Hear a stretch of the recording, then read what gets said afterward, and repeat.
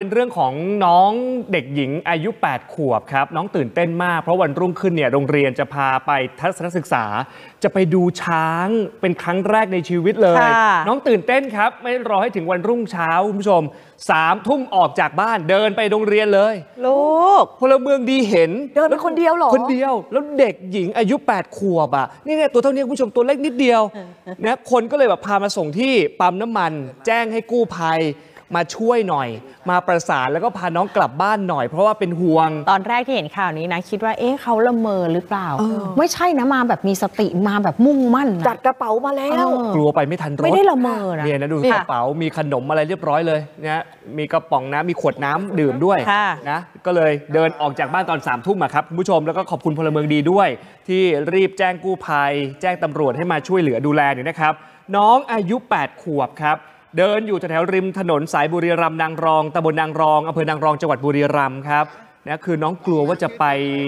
ไม่ทันรถที่จะโอ้ทัศนลูก ศึกษาในวันรุ่งขึ้นนะอ๋อครับ กลัวรถไม่รอหนูเหรอคะ โรงเรียนจะพาไปที่สวนช้างที่อำเภอท่าตูมจังหวัดสุรินทร์นะครับกู้ภัยก็เลยมาส่งที่บ้านเนี่ยนะครับมาที่บ้านของน้องและ มาเจอคุณแม่เรียบร้อย คุณแม่เองก็ไม่รู้ด้วยซ้ำว่าลูกสาวออกจากบ้านไปอะค่ะ คือมันสามทุ่มแล้วอะทุกคนหลับกันหมดแล้วอะครับ คือใช่ กู้ภัยมาถามว่ามีคนที่บ้านหายไปไหม เออเออ แม่ยังบอกไม่มีเลย ไม่รู้เลย ไม่ใช่มีไม่รู้ เนี่ยอันเนี้ยคุณผู้ชมอย่าดราม่านะ เพราะว่าบางบางคนน่ะหลับแล้วหลับแต่หัวค่ำแล้วหลับลึกอะแล้วสามทุ่มเองอะตอนใช่ ตอนที่ออกกันไปอะ แล้วต่างจังหวัดสามทุ่มก็ดึกแล้วเออแล้วเด็กก็แปหลัดบกันขแล้ววบอะเขามีความรู้สึกนึกคิดแล้วที่จะค่อยๆย่องๆออกมากลัวพ่อแม่ตื่นหรืออะไรอย่างเงี้ยนะ โอ้จะทำแบบนี้ไม่ได้นะลูกอันตรายค่ะกลางคืนด้วยแล้วน้องก็อายุแค่ 8 ขวบเท่านั้นเอง เมื่อช่วงสายวานเนี้คุณผู้ชมครับ ก็มีความเคลื่อนไหวน้องเองก็มาที่โรงเรียน คุณแม่มาส่งนะครับค่ะคือตอนแรกออกมาก่อน3ามทุ่มใช่ไหมออกจากบ้านค่ะกู้ภัยมาเห็นก็ส่งกลับบ้านก่อนน้องอย่าเพิ่งไป ยังไม่ถึงเวลาค่ะวันรุ่งขึ้นคือเมื่อวานเนี้ช่วงเช้าครับคุณผู้ชม คุณแม่มาส่งน้องที่โรงเรียนขึ้นรถทัศนศึกษา แล้วคุณวรบดินทร์รุ่งโรจน์ชัยกุล หัวหน้าหน่วยกู้ภัยสยาม รวมใจปู่อินหรือพี่ดุ๊ก นะก็ตอนแรกไปส่งน้อง ค่ะแล้วพอกลับมาตอนเย็นเนี่ยนะครับ น้องไปดูช้างเสร็จเรียบร้อย ค่ะพี่ดุ๊กมารับน้อง โอ้ กลับจากการไปทัศนศึกษาอีกครั้ง แล้วก็ไปส่งที่บ้านครับ ก็ไปถามแม่ของน้องเนี่ยน้องชื่อน้องน้ำนะครับค่ะ บอกว่าน้องกำพร้าพ่อ พ่อประสบอุบัติเหตุเสียชีวิตเมื่อ 4 ปีที่แล้ว พี่ดุ๊กก็เลยถามน้องน้ำว่าน้องน้ำอยากได้อะไรมากที่สุดในชีวิต ไปฟังว่าน้องน้ำตอบว่าอะไรครับ พี่ดุ๊กจะให้พรหนูหนึ่งข้อ หนูอยากได้อะไรพี่ดุ๊กซื้อให้หมดเลย อะไรก็ได้ ที่หนูแบบอยากได้มากในชีวิต แต่ไม่เคยได้ ไม่เคยได้กิน ไม่เคยได้อย่างเงี้ยอยากได้อะไรลูกหรือว่าให้แม่กินโอ้ยเอาของหนูนะลูก ไม่ต้องห่วงแม่ เอาของหนู เอาน้ำแพ็คหนึ่งเอาไว้ให้แม่กิน แม่คุณสังเกตสายตาพี่ดุ๊กบ่งบอกทุกอย่างค่ะพี่ดุ๊กหันมาด้วยความแบบว่า คืออึ้งในคำตอบอะจนแม่ต้องบอกว่า เอาของลูกที่หนูอยากได้ลูกไม่ยังไม่ต้องห่วงแม่ คือเด็กคิดถึงแม่ครับ ใช่ ขอน้ำหนึ่งแพ็คทำไมครับถึงอยากได้น้ำหนึ่งแพ็คเพราะที่บ้านดื่มน้ำฝน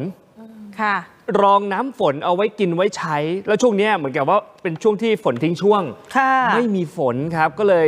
ไม่ค่อยมีน้ำมาดื่มอะครับ ก็เลยบอกพี่ดุ๊กว่าสิ่งที่หนูอยากได้มากที่สุดตอนนี้คือ อยากได้น้ำดื่มหนึ่งแพ็คครับ เอาให้แม่ พี่ดุ๊กเองก็ ก็ทึ่งเหมือนกันนะว่าเอ๊ะทำไมทำไมเด็กตัวแค่เนี้ยคิดถึงคนอื่นคิดถึงคุณแม่ค่ะจนคุณแม่บอกว่านึกถึงตัวเองก่อนเธอะลูก